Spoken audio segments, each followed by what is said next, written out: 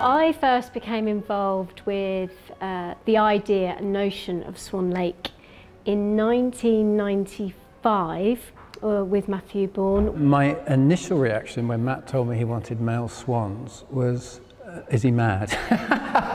um, I thought it was a very bold move to have male swans. Um, having already seen what he'd done with um, Nutcracker and Highland Fling, um, I knew that he was a very clever man and whatever he put his mind to would work. It was something that um, hadn't occurred to me. I was originally thinking already of doing Swan Lake. Um, I was thinking of casting dancers that I'd been working with at that point.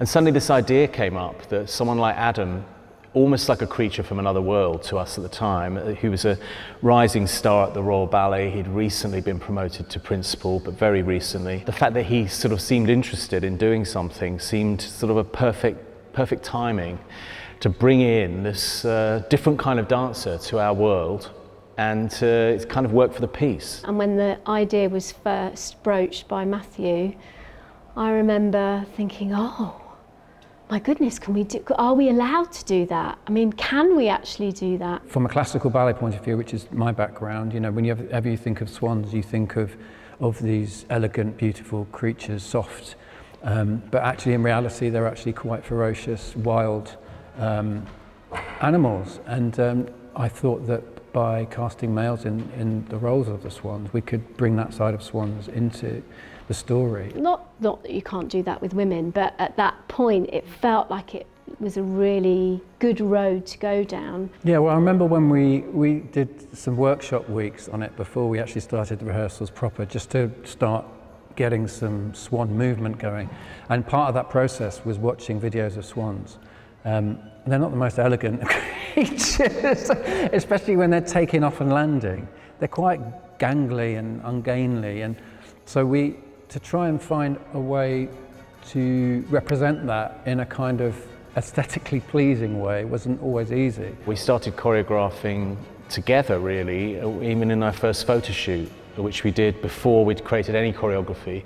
We had to come up with some photos, and so a lot of the things that went into the photography with Hugo Glendinning um, were things we made up in the studio that then went into the show. It's an odd way around to do it, but that's sort of what happened. We had to come up with something. And Adam was very, I think, very significant in the creation of this piece, not just because his performance was wonderful and people loved him in it and he had an enormous impact personally in it, but I think he brought something to us at the time I mean, we've been known to be quite a quirky, funny company. Um, you know, we had our moments of more moving material in our pieces, but I think basically we were known as a, a quirky company that had a, a reputation for humour. I think uh, Adam brought a seriousness to us and made me, in particular, want to make this piece meaningful. My influences were very much the people that we had in the room at the time um, who were coming up with the, um, the material. So um, Scott Ambler, Etta Murfitt, um, David Hughes uh, and myself came up with a lot of the material. And, and we were, at the time, we didn't know what we were creating. You know, we didn't realize we were creating an iconic thing or iconic moves. We were just trying to be truthful to the swan that we wanted to project in this piece. I mean, I can tell you one story. We're creating the, many of the sequences in Act One. Well, the swan isn't in Act One or The Stranger, and we hadn't done Act Four yet. So I said to Adam, go up in the upstairs studio, as it was at the time, Sadler's Wells, and just listen to the music and try and think what happens here. You know, it's, it's incredibly powerful music, one climax after another. You know, it's sort of quite hard to um, imagine what might be going on. And he sort of like had a lot of time on his hands and sort of came up with various things that, that then went into the show. And we created this Act Four, which has become very sort of memorable and moving and powerful, but a little bit difficult to explain what exactly happens. It's much more about the audience um, feeling something through the music and the movement and the action that takes place on stage. But if you try and explain it to someone about a lot of swans in a bedroom with a big bed, and it, it, it starts to sound silly. So it's best not talked about. But I think Adam had a lot to do with um, how that was created.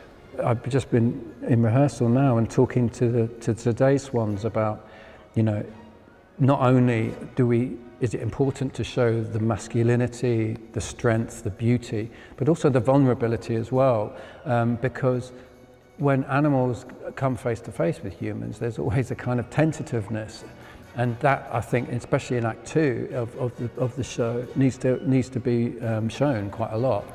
So the kind of head under the arm is all to do with, is kind of a, a protection, you're protecting yourself. All of those kind of swan arms are all about the swan protecting themselves, and it's only when they open up that they, they allow you know, something or someone to come close to them. So that was kind of our thinking at the time, and, and yeah, just to say, who knew it was going to be the success it was. When we first premiered Swan Lake at Sadler's Wells, it was quite shocking because in the first sort of 20 minutes, there were people who were standing up and leaving. And I remember watching it going, oh my God, is this going to be okay? The attention went much more on male swans because it was such an iconic image for people, the female dancing swan. To have a male dancing swan was very unexpected. People couldn't imagine what it was going to look like. When we first started to do it, we had walkouts with the Prince and Swan dancing together. But we had a, a slightly aggressive uh, attitude towards it from some members of the audience and some uh, people refused to come and see it. It got dubbed the Gay Swan Lake, which was in some ways was not what the aim was, but it certainly was a story within that that that was very meaningful for, for gay audiences. And I, I celebrate that still. I did then and I do now. It was such a shock for audiences that they didn't know what they were seeing initially. And then once they'd got into it and they started to see more and more of Act Two and more of the Swans, they became um, excited by it. By the end, uh, and the end is so extraordinary and dramatic, the audience literally stood up and started clapping and I remember sitting there and thinking, oh my goodness, this is extraordinary, absolutely extraordinary. And it was then when I realised that the show was going to have a massive impact. I think it was quite a while, a, good few years after we, after we opened, um, that it became suggested that, you know, that, that the, the role was was influencing boys to take up dancing. The fact that the, show is still going on now and, and people can take their young boys to see a show like this, which represents male dancing in such a strong way, I think is brilliant. It still seems to inspire people, still seems to move people, and therefore we, we get excited about doing it because that's what we're here for, to entertain.